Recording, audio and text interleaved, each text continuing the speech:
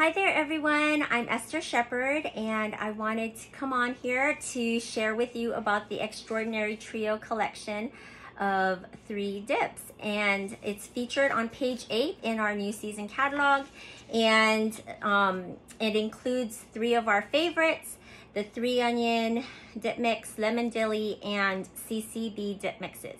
So although those three are included in our extraordinary cheese uh, dip mix solution uh, right now. It's only available till October 31st.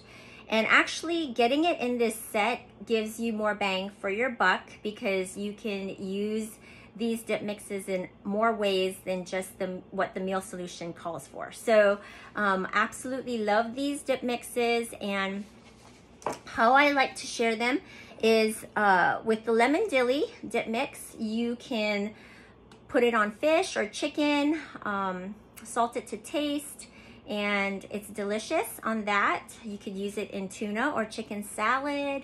Um, you can even make a tzatziki sauce out of lemon dilly um, with sour cream or, you know, plain Greek yogurt.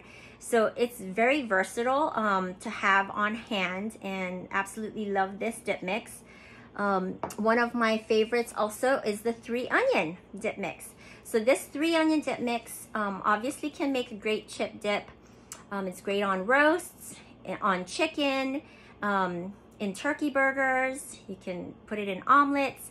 And the label also gives you this idea, but you can swap out this three onion dip mix in any of your recipes that call for onions. So three tablespoons is equal to one onion and you can cut out the uh, not having to chop up onions and start tearing up while you're doing it.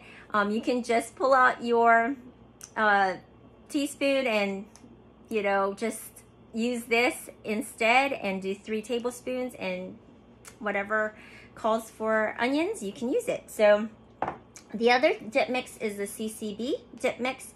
And um, you can use this in eggs, um, use it for cheese balls for the holidays, put it in your mac and cheese meal solution or add it to Alfredo. Um, what I like to also do is add it to some sour cream and mix it in with um, potatoes and season mashed potatoes with this. And so it gives it like kind of a bacony, cheesy uh, flavor to it. And um, it's like a baked potato, but it's super awesome. So anyway, I hope you'll use these ideas and tips and make uh, this trio of dip mixes part of your holiday season. All right, talk to you soon.